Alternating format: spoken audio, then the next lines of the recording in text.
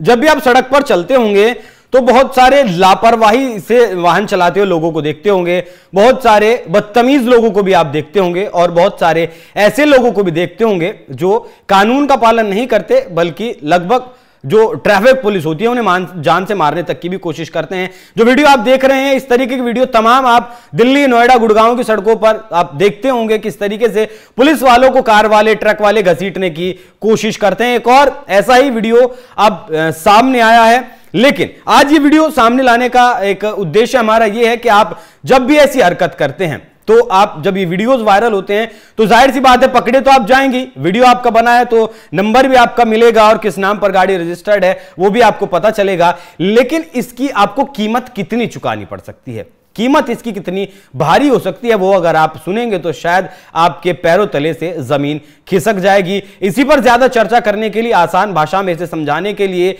मेरे साथ मौजूद हैं हाईकोर्ट के वकील योगेश अग्रवाल जी। बहुत बहुत स्वागत, सर, आपका। ये जो लोग इस तरीके की हरकत करते हैं ये करते क्यों हैं? जल्दबाजी में होती है दबंगई दिमाग में होती है या और फिर इसके परिणाम क्या क्या हो सकते हैं? पूरा डिटेल में समझाइएगा। देखिए इस तरह की हरकत मुझे लगता है अभिषेक जी लोगों को ये लगता है कि हम दिल्ली में रहते हैं और हमारा ये फला मिनिस्टर जानकार है हमारा ये आई ऑफिसर जानकार है हमारा ये पुलिस वाले बिगाड़ क्या लेंगे? और जब ये रोड पे निकलते हैं तो इनकी दादागिरी बढ़ जाती है। हम्म। रोड पे जितने भी रोड रेस के मामले होते हैं वो जनरली छोटे से इंसिडेंट से शुरू होते हैं हम्म। जरा सा सा डिस्प्यूट होता है जिसको वो बढ़ा देते हैं अब इस मामले में देखिए ज़्यादा से ज़्यादा क्या हुआ होगा इस पर्सन ने या तो रेड लाइट जंप करी है या कोई ट्रैफ़िक की कोई वायलेशन करा है और पुलिस हम्म। ने इसको रोकने की कोशिश करी है अब अगर पुलिस ने वहाँ पर इनको रोकने की कोशिश करी है तो इस पर्सन को वहाँ रुक करके अगर इसने कोई वायलेशन करा तो उसका चालान कटवा लेता ना वहाँ खड़े होकर के हम्म। लेकिन करते क्या है दादागिरी दिखाते हैं वहाँ पर। या तो फ़ोन नंबर निकालने के कहेंगे मेरा फला मिनिस्टर जानकार है तेरी बात करा देता हूँ अभी।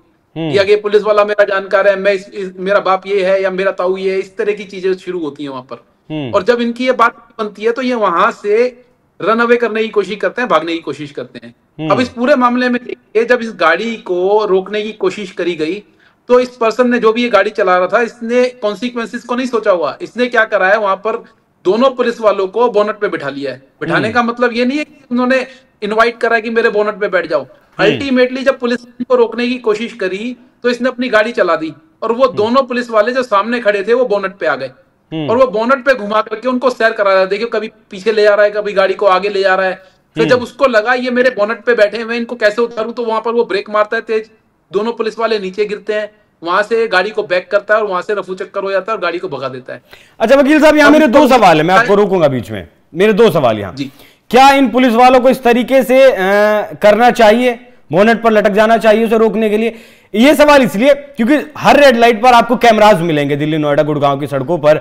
अगर वो आपके। रोकने से नहीं रुक रहा है तो आप अपनी जोखिम जान जोखिम में क्यों डाल रहे हैं? बाई चांस ये गाड़ी का पहिया आपके सर के ऊपर चढ़ जाए। आप उससे उसकी फुटेज निकालिए नंबर निकालिए उसके ऊपर कार्रवाई करिए। आपने जो बात बोली है बिल्कुल ठीक है। देखिए पुलिस वालों को अपनी जान जोखिम में डालने की कोई ज़रूरत नहीं है।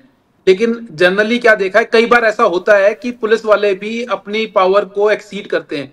वो क्या करते हैं जा करके पर्सन की गाड़ी की चाबी निकालने की कोशिश करते हैं। हम्म। मैंने बहुत देखा ऐसे इंसिडेंट जहाँ पर पुलिस क्या करती है जाएगी आपके विंडो में से सीधा चाबी पे हाथ मारेगी जबकि उनका चाबी पे हाथ मारने का कोई राइट नहीं है। नहीं हमारे साथ भी हुआ है कई बार ऐसा। हाँ कई बार वो चाबी को निकालने की कोशिश करते हैं कि चाबी निकाल करके इसको बाहर बुला लेंगे और फिर इससे पैसे वसूलेंगे। हम्म। अब यहाँ पर ऐसा क्या हुआ है अभी कहना बड़ा मुश्किल है। क्यों वो बोनट पे आ गए? क्या पुलिस वालों ने उनको रोका था? या इसने ट्रैफ़िक की, ट्रैफ़िक लाइट जंप करी है? इसने क्या करा है? क्या वायलेशन करा? अभी तो ये भी नहीं मालूम है। लेकिन जो भी हुआ है, बड़ा ही ये मैं तो इसको बोलूँगा, ये ऐसा नहीं होना चाहिए था। ट्रैफ़िक पुलिस जो है, वो हमारी सुरक्षा के लिए दिल्ली पुलिस हमारी सुरक्षा के लिए है। हाँ कुछ पुलिस वाले ऐसे भी हैं जो इस दौरान इन चीज़ों का मिसयूज करते हैं पब्लिक को परेशान करते हैं। वहाँ पर गलत तरीके से उनसे पैसे वसूलते हैं। आपकी बात ठीक है अगर इसने कोई वायलेशन करा था इसकी फ़ोटो खींच करके बाद में इससे पैसे वसूल नहीं साहब अगर हेलमेट नहीं लगाया होता बाइक पर तो आपके मेल पर आपका चालान आ जाता है। नहीं वो फिर उनको कुछ नहीं मिलेगा ना। अभिषेक जी क्योंकि वहाँ पर पैसे भी तो वसूलने पब्लिक से। अगर ऐसा ही हो जाएगा तो कैमरों पे अगर पुलिस आ जाएगी तो मेरे हिसाब से तो ज़रूरत ही नहीं है लेकिन वायलेशन होते हैं। और फिर ये परेशान भी करते हैं पब्लिक से गलत तरीके से पैसे भी वसूलते हैं। हम्म। लेकिन अब पूरे इंसिडेंट के अंदर अब जिस पर्सन ने ये गाड़ी चला रहा था उसके अगेंस्ट समझ लीजिए जो कार्यवाही होने वाली है इनके अगेंस्ट भारतीय न्याय संहिता का सेक्शन 221 सेक्शन 221 सेक्शन 135 और सेक्शन 109 अब ये तीनों जो सेक्शन लगेंगे इसके अंदर अलग अलग सजा के प्रावधान है। क्या क्या क्योंकि इसने पब्लिक सर्वेंट पब्लिक सर्वेंट को उसकी ड्यूटी करने से रोका है। तो हम्म। इसके लिए इसका खिलाफ जो सेक्शन लगेगा सेक्शन 132 भारतीय न्याय संहिता लगेगा। हम्म और सेक्शन 221 लगेगा जहाँ पर मैक्सिमम सजा का प्रावधान छह महीने का और फाइन लग सकता है। ठीक है। इसके अलावा अभी क्योंकि इसने गाड़ी के अंदर बैठा करके ब्रेक मारी है और ऐसे में जो आपने बोला वो गाड़ी के नीचे आ सकते थे। तो यहाँ पर इसके खिलाफ अटेम्प्ट टू मर्डर के चार्जेस भी लग सकते हैं सेक्शन 109 के अंतर्गत। अगर अटेम्प्ट टू मर्डर के चार्जेस लगे तो ताउम्र इस पर्सन को जेल में रहना पड़ सकता है। अगर ये साबित हो गया कि इसने जानबूझ करके ये गाड़ी चलाई थी और जानबूझ करके ऐसी सिचुएशन पैदा करी जिससे इन दो लोगों की जान जा सकती थी तो अटेम्प्ट टू मर्डर के चार्जेस लगेंगे और उसको पूरी उम्र ताउम्र उम्र कैद की इसको सजा हो सकती है और उसके कॉन्सिक्वेंसेज बहुत ही भारी होंगे। अभी तो इसको बेल लेने में भी दिक्कत आएगी, जब भी ये बेल लेने के लिए कोर्ट में जाएगा, जल्दी से इसको बेल नहीं मिलने वाली है। अब वो सरकमस्टांसिस क्या थे? ये बहुत बात की बात है कि पुलिस वालों ने कोई रिश्वत मांगी है या परेशान किया है, चाबी खींचने की कोशिश करी है, ये सब चीज़ें बात की है। अच्छा वकील साहब यहाँ चलेगी किसकी ज़्यादा? अगर पुलिस कहेगी कि हम तो रोक रहे थे सिर्फ़ चेकिंग कर रहे थे या इसने लाइट तोड़ी है लेकिन अगर गाड़ी वाला कहेगा कि नहीं ये मुझसे ज़बरदस्ती उगाई करने की कोशिश कर रहे थे किसकी चलेगी ज़्यादा? अगर- सबूत तो किसी के पास नहीं है। अगर वो ये बोलते हैं मेरे से ज़बरदस्ती अगुवाई करने की कोशिश करी है तो ऐसे केस में इनको कंप्लेंट देनी पड़ेगी पुलिस वालों के खिलाफ। और हम्म। उसकी कार्यवाही अलग पुलिस वालों को लाइन हाजिर भी किया जा सकता है उनके खिलाफ कार्यवाही भी हो सकती है लेकिन ये पूरा मामला अलग रहेगा। अब हम्म। ये अब ये गाड़ी वाले का डिफेंस नहीं हो सकता केस के अंदर जाकर के कि हम्म। मेरे से उन्होंने पैसे मांगने की कोशिश करी तो मैंने गाड़ी उनके ऊपर चढ़ा दी। अच्छा वो अलग केस चलेगा। वो अलग केस चलेगा वो एक अलग सरकमस्टांसिस है। अगर पुलिस वाला आपके साथ बदतमीजी कर रहा है रोड पे खड़े होकर तो इसका मतलब ये थोड़ा आप उसको बोनट में बिठा के घुमा दोगे। उसको जान जान के जोखिम डाल दोगे। आप उसके अगेंस्ट कार्रवाई कर सकते हो सौ नंबर पे फ़ोन करके पुलिस वालों की कंप्लेंट दे सकते हो। अगर उन्होंने रिश्वत मांगी है तो कंप्लेंट करके विजिलेंस डिपार्टमेंट में भेज सकते हो। एंटी करप्शन में इनकी कंप्लेंट दे सकते हो। सभी पुलिस वालों का नाम लिखा होता है, उनका नेम बेस्ड सामने होता है, उनकी बेल्ट पे उनका नंबर लिखा होता है, आप उनके सीनियर ऑफिसर्स को कंप्लेंट कर सकते हो। सारे प्रोविज़न है। मैं मानता हूँ ये हरास करते हैं पुलिस वाले। रोड पे खड़े हुए पब्लिक को हरास करते हैं। लेकिन ऐसे सरकमस्टांसिस पैदा करना ठीक नहीं है। अब इसके कॉन्सिक्वेंसेज गाड़ी वाले को ज़्यादा भुगतने पड़ेंगे। पुलिस वालों का तो जो भी होगा, अगर वो कंप्लेंट लिखेंगे तो हो सकता है उनकी नौकरी चली जाएगी। लेकिन ये जो हुआ है, अब ये, जो गाड़ी चला रहा है पर्सन इसको बहुत भारी पड़ने वाला है। अगर मैं इसी तस्वीर को ध्यान में रखूँ इसी तस्वीर को अगर एग्ज़ाम्पल के तौर पर मैं लूँ अगर इस पर यह प्रूव होता है कि इसने जानबूझकर अ, मतलब भगाई है गाड़ी पुलिस वालों को बोनेट पर बैठाया है तो इस शख्स को जो गाड़ी चला रहा है उसे उम्र कैद की सजा भुगतनी पड़ेगी। जी बिल्कुल इसको उम्र कैद तक की सजा हो सकती है। उम्र इसमें जो प्रोविज़न है वो उम्र कैद तक की सजा का है। हम्म। मतलब इसमें सजा दो साल की भी हो सकती है पाँच साल की भी हो सकती है दस साल की भी हो सकती है और उम्र कैद तक की सजा का प्रावधान है। अच्छा वकील साहब ये चीज़ें रोकी कैसे जाएँ? किस तरह की चीज़ों को रोकने ये जो लोग तरह- बोनेट पर बिठा लेते हैं पुलिस वालों को। देखो ये मेरे ख्याल से दिल्ली में ये तीसरा या चौथा वाक्य है जो इस तरह का एक मामले चल रहे हैं जहाँ पर पुलिस वालों को बोनट पे बिठा के घुमाया गया। पहला वाक्य नहीं हुआ है दिल्ली के अंदर? पहले भी एक मामला बड़ा सोशल मीडिया में वायरल हुआ था जहाँ पर वो दो किलोमीटर तक उसको बोनट पे बिठा के घुमा दिया था पुलिस वाले को। तो ये चीज़ें आम हो गई हैं। लोगों के अंदर आज की डेट में टेम्परामेंट नहीं है। हर पर्सन की हमारे देश के अंदर एक पहुँच पहुँच चुकी है।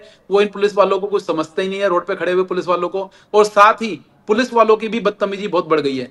वो रोड पे जब निकलते हैं तो वहाँ पर अगुवाई करने के लिए निकलते हैं और लोगों के लिए ऐसे सरकमस्टांसेस पैदा कर देते हैं, जिसमें वो बाद में अपोजिशन को दिखा करके इस तरह के केसेस को रजिस्टर्ड करते हैं। अब देखिए केस तो इनके अगेंस्ट रजिस्टर्ड हो चुका है। मैंने पढ़ लिया है इनके अगेंस्ट ये तीनों सेक्शन के अंदर केस रजिस्टर्ड हो चुका है और साथ में मोटर व्हीकल एक्ट के भी इनके अगेंस्ट चलान कटेंगे।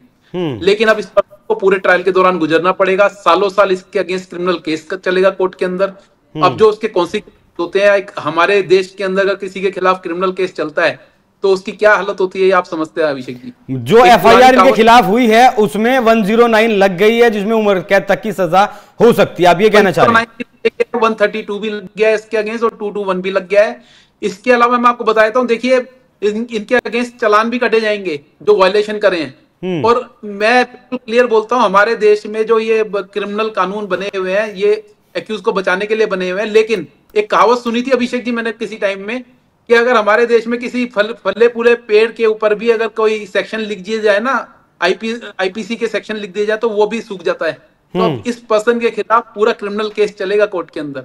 सालों साल पहले क्रिमिनल केस चलेंगे और अगर ये केस प्रूव हो गया तो इनके खिलाफ इनको सजा भी होगी। और इसमें एक कमाल की बात और है ये केस सेटल नहीं हो सकते। अगर मतलब इनका फैसला नहीं हो सकता। आपस में सेटलमेंट नहीं हो सकता दोनों पक्ष अगर बैठकर बातचीत कर लें जी नहीं हो सकता ये क्योंकि यहाँ पर ये गवर्नमेंट ऑफिसर्स हैं। हम्म। बहुत गवर्नमेंट ऑफिसर्स और गवर्नमेंट ऑफिसर कभी भी सेटलमेंट नहीं कर सकते एक प्राइवेट पर्सन के साथ जाकर के। हम्म। क्योंकि वो गवर्नमेंट ड्यूटी पे थे और ड्यूटी पे उनके खिलाफ ये चारित हुई हैं। तो इसमें गवर्नमेंट इन्वॉल्व हो गई है। अब यहाँ पर ये अपनी मर्ज़ी से सेटलमेंट भी नहीं कर सकते कि इनसे पैसे लेकर के कि ठीक है जी हमारे को इंजरी आई है हम पैसे लेकर के इससे सेटल कर लेंगे। वो सेटलमेंट हम्म। की पॉसिबिलिटी खत्म हो गई है।